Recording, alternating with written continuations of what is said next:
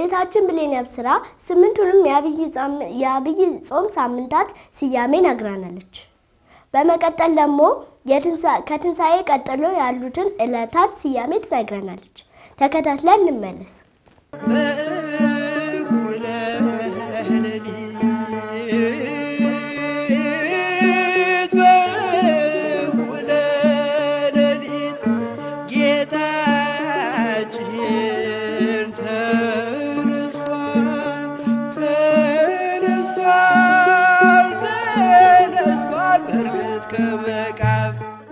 ክርስቶስ ተንሥአ እሙታን በአብይ ኃይለ ሥልጣን አሰሮ ለሰይጣን አጋዙ ለአዳም ሰላም እምይእዜሰ ኮነ ፍስሐ ወሰላም። ሰላም ውድ የእግዚአብሔር ልጆች እንደምን ሰነበታችሁ? ደህና ናችሁ? እግዚአብሔር ይመስገን እንዳላችሁ ተስፋ አድርጋለሁ። አሜን። የአምላካችን የልዑል እግዚአብሔር ስሙ ዛሬም ዘወትርም የተመሰገነ ይሁን። እንኳን ለዳግም ትንሣኤ በሰላም አደረሳችሁ አደረሰን። ውድ የእግዚአብሔር ልጆች ለዛሬ ከትንሣኤ እሁድ ቀጥሎ ስላሉ ዕለታት እነግራችኋለሁ። ከትንሣኤ እሁድ ቀጥሎ ያሉት ዕለታት ሰሙነ ፋሲካ ወይም ትንሣኤ እየተባሉ ይጠራሉ። የየራሳቸው የሆነ ምስጢራዊ ስያሜ አላቸው። ይኸውም ሰኞ ጌታችን በሞትና በትንሣኤው ነፍሳትን ከሲኦል አውጥቶ ወደ ገነት አሻግሮ ለማስገባቱ መታሰቢያ ሆና ጸአተ ሲኦል ማዕዶት ትባላለች። የዮሐንስ ወንጌል ምዕራፍ 19 ከቁጥር 18 ወደ ሮሚ ሰዎች ምዕራፍ 5 ከቁጥር 10 እስከ 17። የዳግም ትንሣኤ ማግስት ያለችው ግን ገበሬ ወንዶች እርሻ ቁፋሮውን፣ ንግዱን፣ ተግባረ እዱን ሁሉ ሴቶቹ ደግሞ ወፍጮውን፣ ፈትሉን፣ ስፌቱን የሚጀምሩባት ዕለት ስለሆነች እጅ ማሟሻ ሰኞ ትባላለች። ማክሰኞ የትንሣኤው ዕለት እሁድ ማታ ጌታችን በዝግ ቤት ገብቶ ለሐዋርያት ሲገለጽ ቶማስ ሐዋርያ አልነበረም። ኋላ ሄደበት ሲመጣ ሌሎቹ ሐዋርያት ትንሣኤውን ቢነግሩት እኔ ሳላይ አላምንም በማለቱ በዚህ ጥያቄው መሰረት በሳምንቱ ጌታችን በድጋሚ ስለተገለጸ ለዚህ መገለጹ መታሰቢያ ሆና ዕለቲቱ በቶማስ ተሰየመች። ረቡዕ ከሞተና ከተቀበረ አራት ቀን በኋላ ከመቃብር ጠርቶ ላስነሳው አልዓዛር መታሰቢያ የእርሱንም ከሞት መነሳት በማየት በጌታችን ብዙ ሕዝብ ስላመነበት ቀኒቱ አልዓዛር ተብላ ትታሰባለች። የዮሐንስ ወንጌል ምዕራፍ 11 ከቁጥር 38 እስከ 46።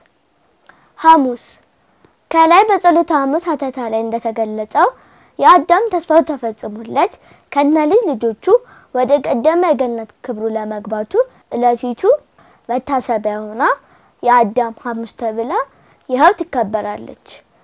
የሉቃስ ወንጌል ምዕራፍ 24 ከቁጥር 25 እስከ 49። አርብ በክርስቶስ ደም ተዋጅታ በተመሰረተችው ቅድስት ቤተ ክርስቲያን ታላቅ መታሰቢያ በመሆኗ በሰሙነ ፋሲካ ያለችው አርብ ቤተ ክርስቲያን ተብላ ትጠራለች። የማቴዎስ ወንጌል ምዕራፍ 26 ከቁጥር 26 እስከ 29። የሐዋርያት ሥራ ምዕራፍ 20 ከቁጥር 28። ይህች ዕለትም እንደ ዕለተ ሐሙስ ሶስት ስያሜዎች አላት።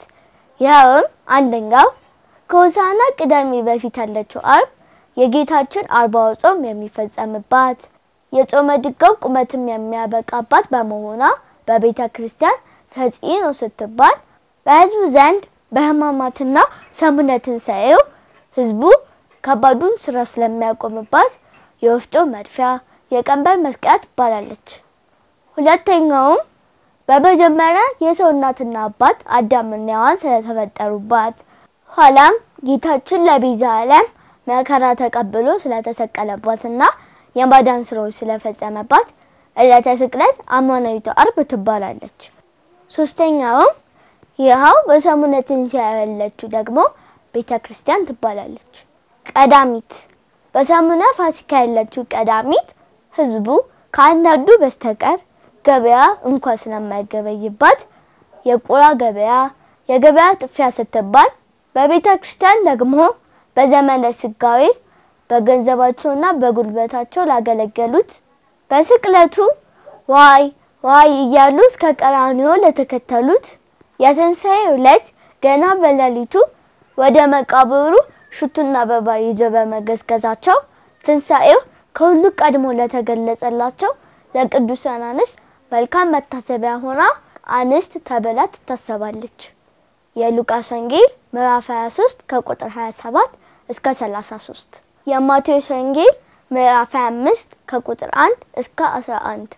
የዋና ትንሣኤ ሳምንት እሁድ።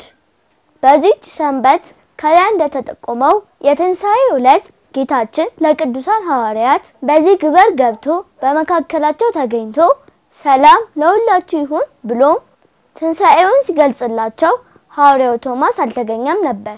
በኋላ ከሄደበት ሲመጣ የጌታችንን መነሳትና እንደተገለጸላቸው በደስታ ሲነግሩት በኋላ እናንተ አየን ብላችሁ ልትመሰክሩ ልታስተምሩ፣ እኔ ግን ሰምቻለሁ ብዬ ልመሰክር ላስተምር። አይሆንም፣ እኔ ካላየው አላምንም በማለቱ የሰውን ሁሉ ይልቁንም የመረጣቸውን ወዳጆቹን የልብ ሀሳብ ምክንያቱን ለይቶ የሚያውቀው ቸርነቱ ወሰን የሌለው የባህሪ አምላክ መድኃኔዓለም ክርስቶስ ልክ እንደ መጀመሪያው የትንሣኤ ዕለት አበው ሐዋርያት በአንድነት በተዘጋ ቤት እንዳሉ በሩን ሳይከፍት ገብቶ ቶማስንም የመንክ እንጂ ተጠራጣሪ አትሁን፣ እነሆ የተቸነከሩ እጆቼንና እግሮቼን የተወጋ ጎኔንም ናና እይ ብሎ አሳየው። እርሱም ምልክቱን በማየቱ በመዳሰሱ ትንሣኤውንና አምላክነቱን እንደ ፍላጎቱ በመረዳቱ ጌታዬ አምላኬ ብሎ መስክሮ አመነ። እንግዲህ ይህ የትንሣኤ ምስጢር ለሁለተኛ ጊዜ ለሐዋርያት የተገለጠበት ዕለት ስለሆነ ዳግም ትንሣኤ ተብሎ ሰንበቱ ይጠራበታል፣ ይከበርበታል። የዮሐንስ ወንጌል ምዕራፍ 20 ከቁጥር 24 እስከ 30። ልጆች ለዛሬ ከትንሣኤ እሑድ ቀጥሎ ስላሉ ዕለታት ይህን ያክል ከነገርኳችሁ ይበቃል። ተጨማሪውን እናንተ አንብቡ፣ ተማሩ። የቀጣዩን ሳምንት በዕለቱ ይዤላችሁ እመጣለሁ። እስከዚያው ድረስ ግን ሰላም እግዚአብሔር አይለየን። መጽሐፍትን አንብቡ፣ ጠይቁ የሚለውን መልእክቴ እንዳትረሱ እሺ። ጎበዞች ስላዳመጣችሁኝ አመሰግናለሁ።